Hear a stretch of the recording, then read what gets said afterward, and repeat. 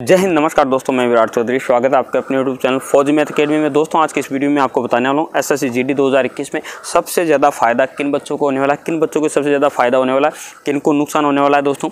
अगर आप भी चाहते हो कि आपको नुकसान नहीं हो तो इस बार वीडियो को अच्छे से देख लीजिए, एंड तक देख लीजिए, ताकि मैं आपको बताने वाला हूँ।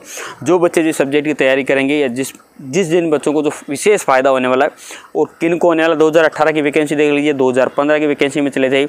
इससे पहले भी एस एस की जितनी भी वैकेंसी उन सभी की मैं आपके साथ में शर्त लगा सकता हूँ कि जो मैं बता रहा हूँ, उन्हीं को सबसे ज़्यादा फ़ायदा होता है। अगर आपको भी फ़ायदा लेना है एस एस में सबसे ज़्यादा तो सबसे ज़्यादा मेहनत किस लिए करनी है? दोस्तों, मैं एक चीज़ में बता दूँ एस एस की जो मेरिट के रूल होते हैं, उसमें चार से पाँच रूल ऐड किए जाते हैं। सबसे पहला होता है नंबर उसके, अगर आपके नंबर सेम हो गए, उसके बाद में जो दूसरा इसका रूल होता है, वो होता है एज फिर ए भाग बी भाग, यानी ए और बी भाग, और उसके बाद में अल्फ़ाबेट ये चार रूल होते हैं, इसके आधार पर मेरिट बनती है।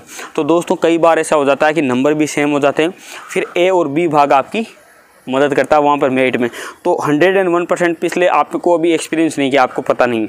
लेकिन एस एस में जितना एग्ज़ाम कंडक्ट होता है, आप सभी को पता है, चालीस पचास लाख के आसपास बच्चे इसमें एग्ज़ाम देते हैं। तो यहाँ बहुत ही खतरनाक लेवल का होता है तो बहुत बच्चों के सेम से नंबर हो जाते हैं। तो सबसे ज़्यादा फ़ायदा किन बच्चों को होने वाला सबसे ज़्यादा उन बच्चों को फ़ायदा होने वाला जो अपनी मैथ और रीजनिंग पर सबसे ज़्यादा फोकस करेंगे।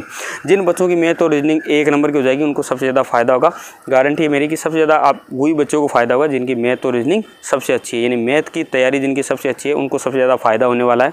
तो आपको सबसे ज़्यादा फोकस करना है वो करना मैथ पे। उसके बाद में रीजनिंग पे। अगर आपने मैथ पे फोकस कर लिया रीजनिंग आपकी ऐसे ही क्लियर हो जाएगी गारंटी मेरी। आपको सबसे ज़्यादा किस पे फोकस करना है? मैथ पे। क्योंकि ए भाग और बी भाग। ये मेरिट में भी कम्पीट करते हैं, आपको मेरिट में भी मदद करते हैं, अगर आपके नंबर सेम हो जाते हैं।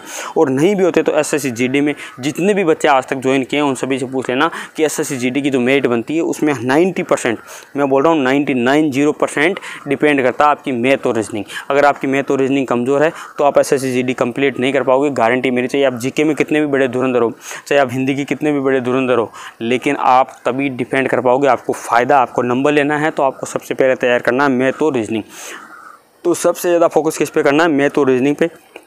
अगर आपने मैथ पकड़ ली तो रीजनिंग आपकी ऐसे कंप्लीट हो जाएगी, क्योंकि मैथ से बहुत सारा सेम सा ही पर्टिकुलर रहता है रीजनिंग में। इसलिए अगर आप चाहते हो कि आपको सबसे बेस्ट आपके लिए रहे तो मैथ बहुत सारे बच्चे बोलते हैं कि, सर, हमको मैथ आती नहीं दोस्तों, कैसे भी करो।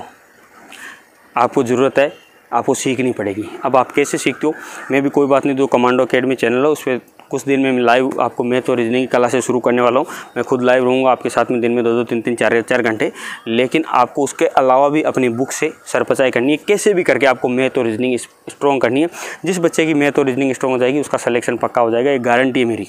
ठीक है, आप जीत चाहे कितने बड़े धुरंधर अगर आपकी मैथ और रीजनिंग अच्छी नहीं है तो आप हंड्रेड एंड वन परसेंट सोच लीजिए एस में आपका नंबर नहीं है। तो इन सब्जेक्ट को आपको सबसे ज़्यादा तैयार करना, उसके बाद में जीके पे फोकस करना। है हिंदी कोई खास सब्जेक्ट नहीं है एस एस के लिए, क्योंकि बहुत ही कम लेवल है और आप सभी के लगभग लगभग बच्चों के सेम से नंबर आते हैं हिंदी में। ज़्यादा पिछड़ता नहीं है कोई भी। सबसे ज़्यादा जो पिछड़ता है वो मैथ रीजनिंग में पिछड़ता है, क्योंकि इसमें क्या होता है कि आप पचास में से पचास नंबर भी ला सकते हो।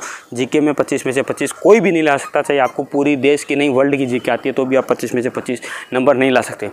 इसीलिए जीके की बजाय आपको मैथ और रीजनिंग पर फोकस करना है, ज़्यादा मास्टर लगाना है, उसके बाद में जीके पे करनी है। जीके अगर आप तेरह, चौदह, पंद्रह नंबर की भी करते तो मैथ रीजनिंग यहाँ पे अच्छी पकड़ है तो बहुत ही अच्छे नंबर आ जाएँगे और आपको hundred and one percent selection हो जाएगा दोस्तों। तो इसलिए सबसे ज़्यादा अगर आपको चाहिए कि आपको फ़ायदा हो तो क्या करना है? मैं तो रीजनिंग पर फोकस करना है दोस्तों। जय हिंद।